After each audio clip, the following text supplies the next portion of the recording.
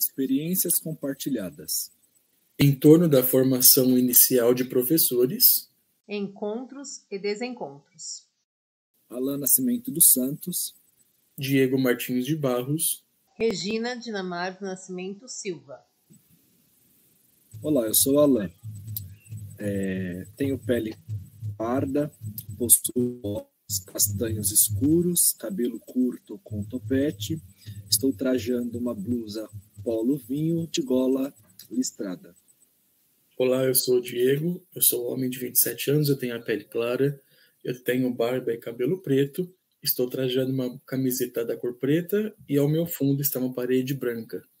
Eu sou a Regina, sou uma mulher de 44 anos, cabelos compridos abaixo dos ombros, da cor castanha, olhos castanhos, pele clara. Estou trajando uma blusa de lã de gola alta na cor rosada.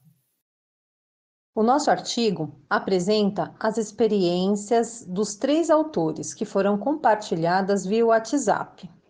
Nesse slide, nós temos uma figura central, onde na parte superior está a palavra encontros, no meio prática pedagógica na formação inicial e abaixo a palavra desencontros. Ao redor dessa figura central, temos três figuras, uma no canto direito, outra no canto esquerdo e outra no canto inferior.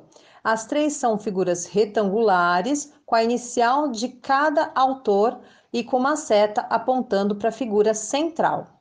O destaque é o elo, a prática pedagógica na formação inicial, que foi identificada nos nossos diálogos e também os encontros e os desencontros que foi gerado em torno desse assunto. O próximo slide apresenta os questionamentos em torno das experiências e elas foram destinadas aos autores, então são duas questões para cada um. Alain, na sua experiência, você destaca a prática no curso de pedagogia, na qual se relacione e interaja com a teoria. Como você pensa essa questão? E, Alan, como você se projeta no futuro formando seus educandos? Eu acredito que nenhuma teoria foi lançada com o objetivo de ser apenas uma arte escrita. É, acredito que todas, o objetivo sempre foi contribuir para com a educação. É, então, durante a minha formação, eu sempre tentei ao máximo pegar a teoria, relacionar com a prática ou que ela me desse direcionamento. Sempre tive a convicção também de que a teoria não era a prática. De fato, a teoria nunca será a prática, né?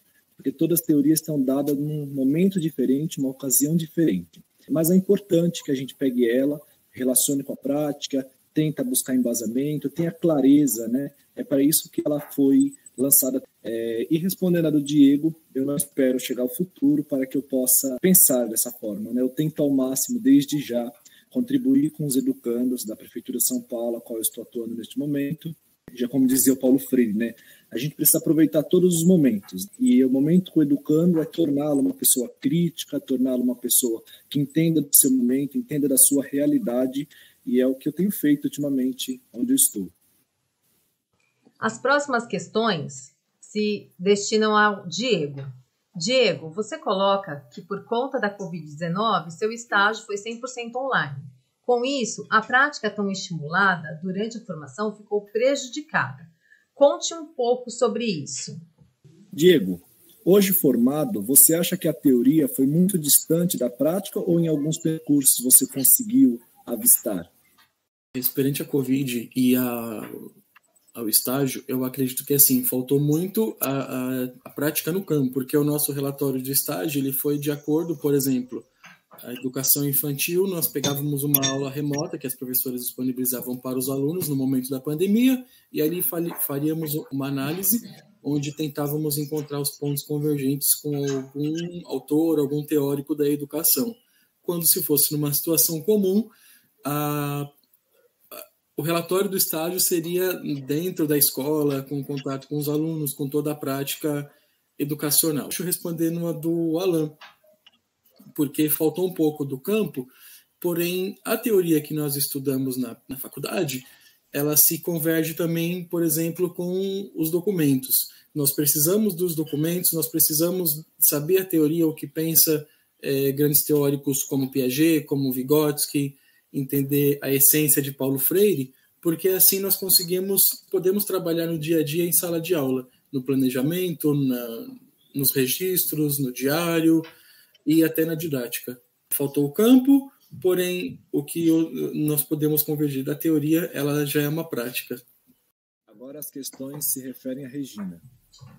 Em algum momento, você estranhou a realidade da época diante do estágio? E o que levou a buscar a docência no nível superior? E durante o seu processo, como a senhora se encontrou novamente motivada com a formação de pessoas?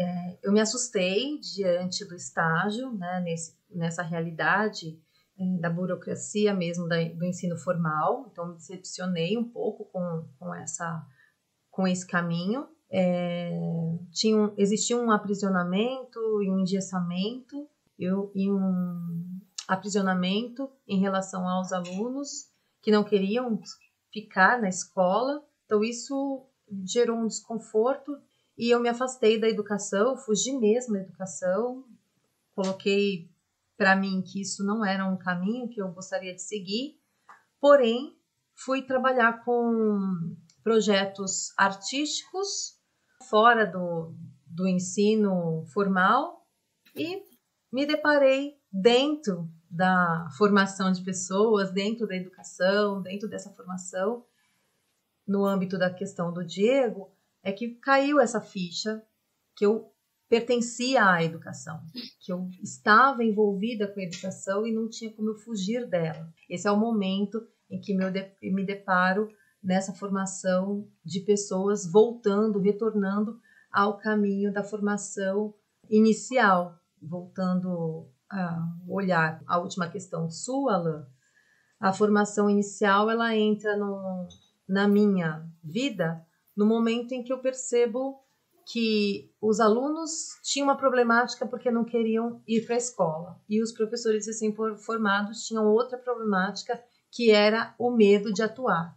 Então ali eu me perguntei, existe alguma coisa nesse lugar da formação inicial e que talvez eu possa, de alguma forma, auxiliar. E essas são as nossas referências. Paulo Freire, com a obra Pedagogia da Autonomia, Jorge La Rosa, com Tremores, escritos sobre a experiência, e Maurício Tardif, com Saberes Docentes e Formação Profissional. Agradecemos pela, por você assistir, nos colocamos à disposição. Muito obrigado e até breve. Agradecemos o carinho de todos e até breve. Até breve, pessoal. Espero outras oportunidades de encontrá-los também. Até!